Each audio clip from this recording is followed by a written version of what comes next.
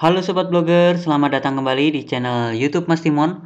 Oke sobatku, pada hari ini saya akan membuatkan tutorial bagaimana sih cara daftar webmaster.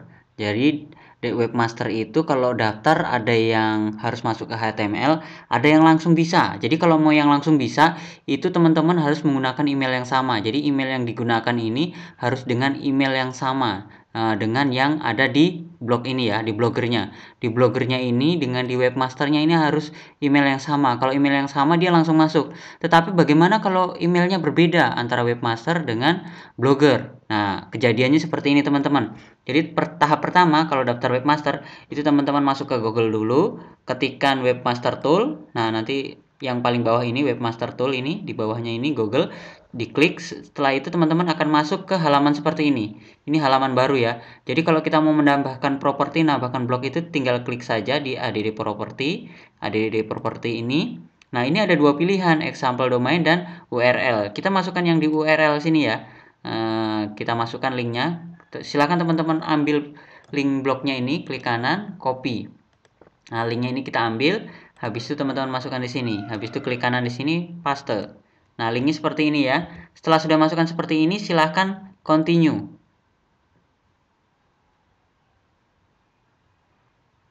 Nah, teman-teman kalau emailnya beda, dia akan tampilannya akan seperti ini. Bagaimana cara mengatasinya tetap supaya bisa terverifikasi? Teman-teman silahkan turun ke bawah. Di sini ada HTML tag. Ada HTML tag ya, silahkan teman-teman klik. Nah, ini kita ambil meta tagnya di copy. Nah, setelah di copy, teman-teman masuk ke blogger. Blogger, bloggernya ya, di blognya habis itu ke tema, tem, ini habis itu edit HTML. Setelah edit HTML, di sini kan yang paling atas nih kita menggunakan template VioMax ya. Kalau teman-teman tidak menggunakan template VioMax, silahkan cari saja kode head, head yang seperti ini ya, head. Atau bisa juga menggunakan Ctrl F. Jadi ada kotak pencarian. Tak cari aja kode head seperti ini di kotak pencarian, enter. Kotak pencariannya di sini. Nah, seperti itu. Kalau menggunakan template VioMax dia paling atas. Jadi kita letakkan saja di sini, enter dulu. Habis itu kita letakkan saja yang kita copy tadi di situ kodenya paste di sini. Nah, ini kodenya ya. Kode yang ini. Teman-teman bisa lihat kode yang ini. Setelah kita masukkan ke sini, jangan lupa teman-teman save dulu ya. Di save dulu. Di save dulu bloknya. Setelah di save, baru kita masuk ke webmaster lagi. Nah, setelah masuk ke webmaster, teman-teman silahkan tinggal lakukan verifikasi yang ini ya. HTML tag ini, ini kita verifikasi. Yang ini, klik. Nah, Go Property. Nah, tampilannya langsung masuk teman-teman. Tapi kalau teman-teman menggunakan uh, email yang sama, email yang webmaster dengan email yang di blogger ini sama, itu langsung saja, tidak perlu seperti itu. Jadi kalau sudah masuk seperti ini, kita tinggal masukkan di mapnya. Set mapnya di sini, ini ya, teman-teman klik set mapnya.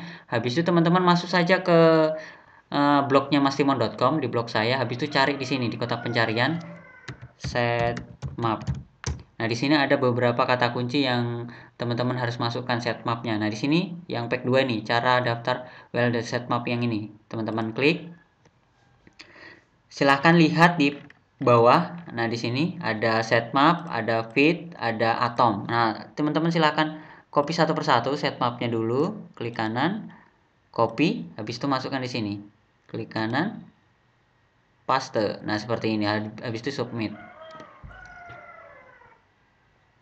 go go it sukses ya langsung sukses satunya lagi ada tiga ya ada tiga klik kanan copy masukkan sini lagi klik kanan paste submit sukses lagi ya satu lagi habis itu atom klik kanan copy habis itu di sini klik kanan paste submit Oke, sukses. Jadi diperlu diingatkan buat teman-teman sekalian, kalau daftar webmaster itu dipastikan artikelnya itu ada ya, minimal tiga lah, dua atau tiga artikel. Jadi di blognya itu ada artikelnya, jadi jangan kosongan. Kalau kosongan di sini bisa error. Oke sobatku, itu saja bagaimana cara daftar webmaster beda email yang sehingga mengakibatkan uh, apa namanya kita harus masuk ke tag HTML dulu untuk memasukkan kode uh, Google verifikasinya. Sampai jumpa di video-video saya selanjutnya, semoga bermanfaat. Jangan lupa like, komen dan subscribe. Sekian dan terima kasih.